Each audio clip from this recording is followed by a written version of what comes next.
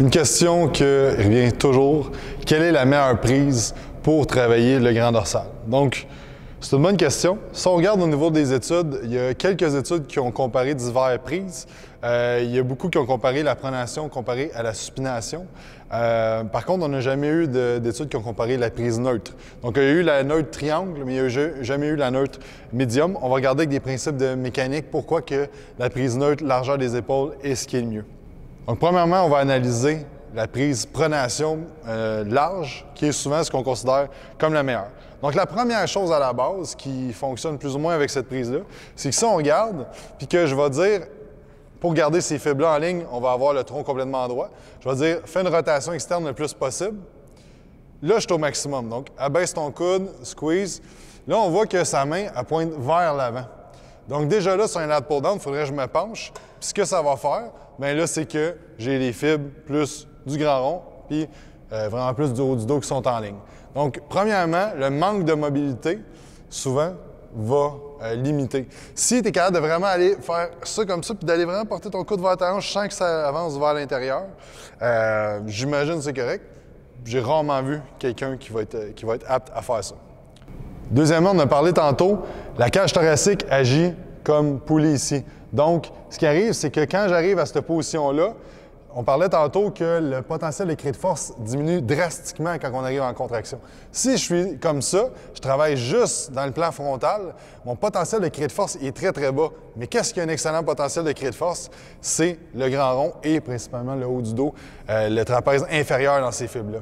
Donc, premièrement, si j'ai la mobilité, OK, mais deuxièmement, je suis beaucoup moins fort de cette façon-là. Puis le monde va mettre beaucoup de poids sur ça parce que vont avoir moins ça qui va travailler, mais beaucoup plus le haut du dos. Donc, on enlève l'avantage qu'on a avec la cage thoracique et ça, fait que les fibres sont beaucoup moins, ont beaucoup moins de potentiel de créer de force dans cet angle-là, puis voir la compensation à tout coup quand on va faire cet exercice-là. Troisième chose, c'est que dans cette position-là, le grand dorsal va s'insérer à l'intérieur ici. Donc, si tu tournes comme ça, les gens peuvent voir, ça s'insère ici. Donc, ce qui va arriver, c'est qu'inévitablement, quand tu vas partir, ton bras va vouloir aller en rotation interne. Donc, si cette fibre-là tire vers là, qu'est-ce qui va arriver? C'est que ces deux points-là vont aller ensemble. Ça va faire ça. c'est là que tu vois dans les gyms, les gens vont faire du lapo puis ils finissent comme ça. Donc là, si je, regarde la contraction maximale qu'on peut avoir, on va faire un abaissement. Mais rendu là, inévitablement, je te demande de contracter plus. Le coude va avancer vers, l'intérieur parce que c'est un rotateur interne jusqu'au point ici. Après ça, ici, il n'y aura plus tant de plus de contraction. Mais vraiment, de ce point-là, si je contracte, ça va inévitablement aller vers l'intérieur. Donc, ce qui arrive, c'est que dans cette position-là, le lat a beaucoup d'avantages mécaniques pour faire la rotation interne.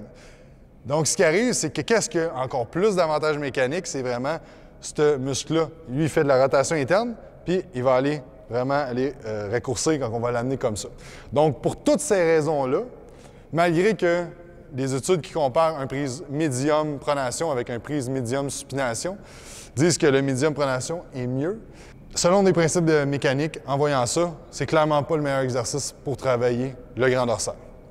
Par contre, sachant ça, c'est que si on met les coudes comme ça. Et là qu'on va travailler de cette façon-là, on va être très en avantage pour le grand rond et le trapèze inférieur, puis tout ce qui est le haut du dos. Donc, on va voir dans le prochain module que cette variation-là de, de row, de cette façon-là, va être très, très bonne pour travailler les fibres au niveau du haut du dos. Après ça, on va regarder la prise supination. Donc là, on sait que si le coude est en rotation interne, on a plus de potentiel de créer de tension, surtout au niveau des fibres iliaques et des fibres lombaires, ce qui est l'avantage de travailler avec quelque chose qui est plus vertical. Donc là, en supination, ce qui arrive, c'est que là, si je demande supine au maximum, il y a une supination qui n'est pas complète. Donc là, ce qui va arriver, c'est que la plupart du monde n'ont même pas la mobilité nécessaire pour faire une supination complète puis pouvoir amener les coudes. Parce que des fois, ça marche là, mais quand tu tires, Là, ça va en semi-supination. Donc, semi-supination, ça peut être correct. Ce qui arrive, c'est qu'en semi-supination, le, euh, le, grand rond a beaucoup d'avantages quand, on va faire le mouvement. Donc, ce qui va arriver, c'est que le bicep va avoir aussi beaucoup de potentiel de créer de force. Donc, souvent, il va y avoir des compensations qui vont se faire au niveau du bicep. Donc, la supination, si jamais tu as la mobilité nécessaire, ça peut être intéressant. Mais dans la plupart des cas, c'est pas nécessairement ce qui est optimal. Donc, pour ce qui est de la prise neutre, c'est vraiment là qu'on peut avoir un maximum de mobilité. On va avoir tout l'avantage d'avoir la cage thoracique comme poulie pour créer la tension au niveau de nos fibres.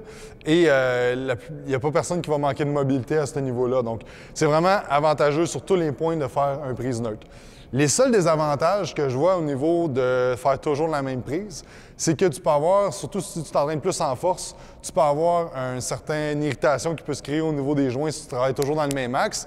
Mais euh, idéalement, quand tu programmes, tu vas aller chercher en pronation pour travailler le haut du dos, puis tu vas tu vas balancer tout le reste, tu vas balancer aussi entre tes tirages verticales à 45 et horizontal, donc il n'y aura pas vraiment de, de problématique.